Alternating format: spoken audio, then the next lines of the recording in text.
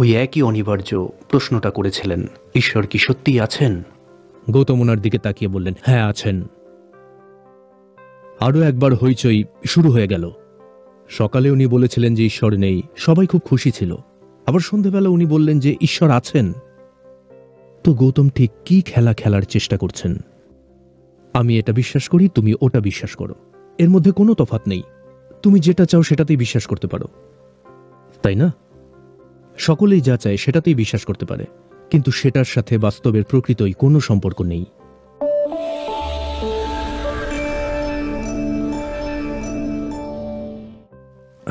এটা ঘটেছিল।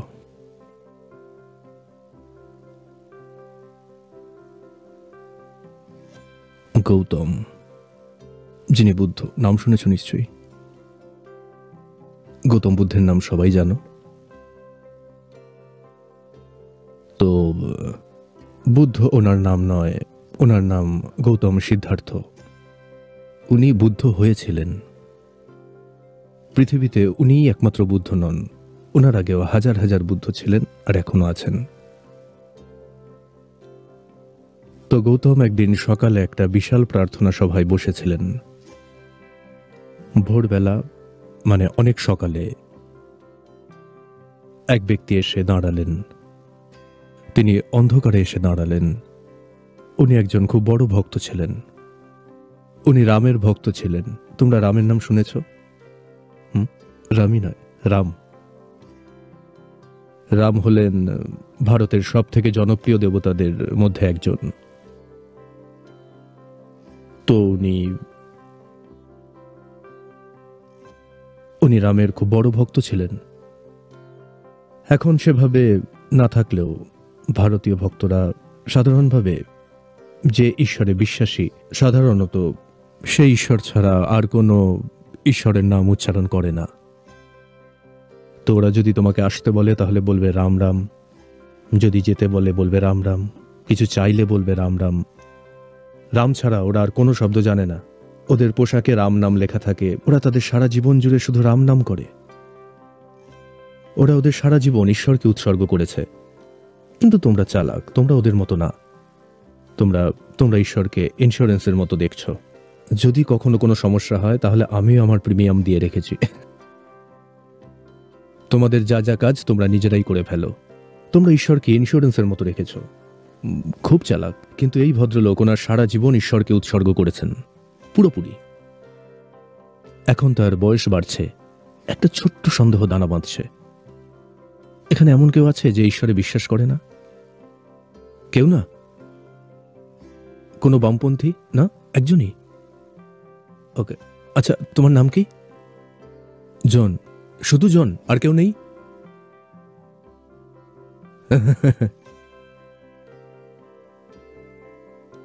তো, একটা ছোট্ট সন্দেহ দানা বাঁধছে উনি জানেন ঈশ্বর আছেন।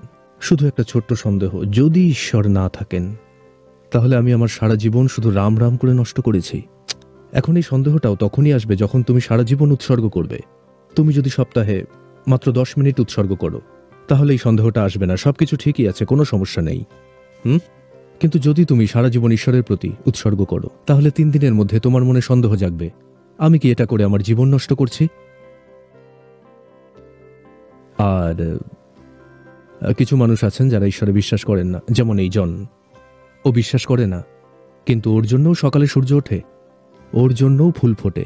ওর ওর জন্যও জীবন সুন্দর। আপাত দৃষ্টিতে ও আমার থেকে অনেক ভালো আছে। তো একটা ছোট্ট সন্দেহ, ভক্তটি জানেন ঈশ্বর আছেন, শুধু একটা ছোট্ট সন্দেহ। এখন যেহেতু একজন আত্মজ্ঞানী মানুষ সামনে আছেন, তাই উনি নিশ্চিত হতে চান। কিন্তু যেহেতু উনি একজন বহুদিনের পরিচিত ভক্ত, যেহেতু উনি শুধু মন্দির যাননি, উনি অনেক মন্দির বানিয়েওছেন, তো জীবনের এই মুহূর্তে কীভাবে প্রশ্ন করা যায়, ঈশ্বর আছেন কি নেই? তাই উনি খুব ভোরে এসে দূরে অন্ধকারে দাঁড়িয়েছিলেন আর এই অনিবার্য প্রশ্নটা করেছিলেন, ঈশ্বর কি আছেন? গৌতম ওই মানুষটির দিকে তাকিয়ে একদম স্পষ্ট স্বরে জোরে বললেন, না। এই বিশাল প্রার্থনা সভায় উপস্থিত শিষ্যদের মধ্যেও সবসময় একটা বিবাদ চলত, ঈশ্বর কি সত্যিই আছেন না নেই? ঈশ্বর কি সত্যি না মিথ্যা? উফ, এতদিনে শান্তি হলো। ওরা যখনই গৌতমকে এরকম কোনো প্রশ্ন করেছে, গৌতম চুপ থেকেছেন, উনি কিছুই বলেননি। এই প্রথমবার উনি একটা স্পষ্ট উত্তর দিয়েছেন, ঈশ্বর নেই। গোটা সভায় খুশির রেশ ছড়িয়ে পড়ে। এতদিনের এই বিবাদ, ঈশ্বর আছেন কি নেই সেটা শেষ। আত্মজ্ঞানী মানুষ নিজে বলেছেন যে ঈশ্বর নেই। সারা শহরে এই খবরটা ছড়িয়ে পড়ে। সারাদিন ধরে উৎসব চলতে থাকে। কারণ এটা তো একটা খুব বড় মুক্তি। ঈশ্বর নেই মানে? উপরে এমন কেউ বসে নেই যে বিচার করবে, তুমি কি করছ না করছ তার ভিত্তিতে তোমাকে শাস্তি দেবে, তোমাকে নরকে পোড়াবে বা নানান কিছু করবে। জীবন পুরোপুরি তোমার। তো সারাদিন ধরে উৎসব চলতে থাকে, সবাই খুব খুশিতে মেতে থাকে। সন্ধেবেলা আরও একবার প্রার্থনা সভা বসে আরও এক ব্যক্তি আসেন। উনিও এসে দূরে অন্ধকারে দাঁড়ান। এই মানুষটি ছিলেন চারবাকপন্থী। চারবাকপন্থী মানে ভারতে একটি নির্দিষ্ট গোষ্ঠীর মানুষরা চারবাকপন্থী বলে পরিচিত।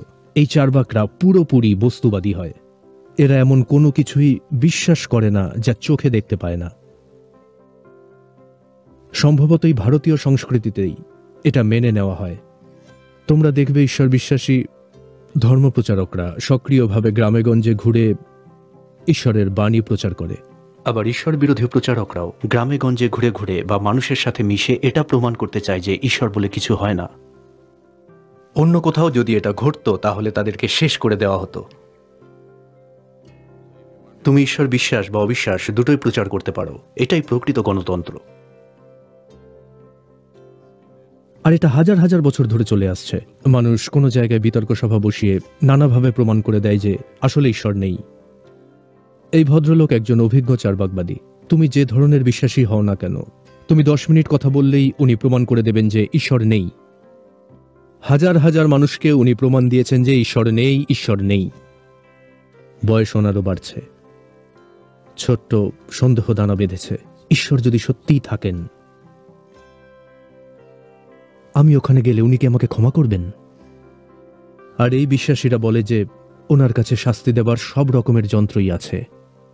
তো যেহেতু আমি সবাইকে প্রমাণ দিয়েছি যে ঈশ্বর নেই তাই উনি হয়তো আমাকে অনেক বেশি শাস্তি দেবেন। উনি জানেন ঈশ্বর নেই। হাজার হাজার মানুষকে প্রমাণ দিয়েছেন যে ঈশ্বর বলে কিছু হয় না। তবু একটা ছোট্ট সন্দেহ।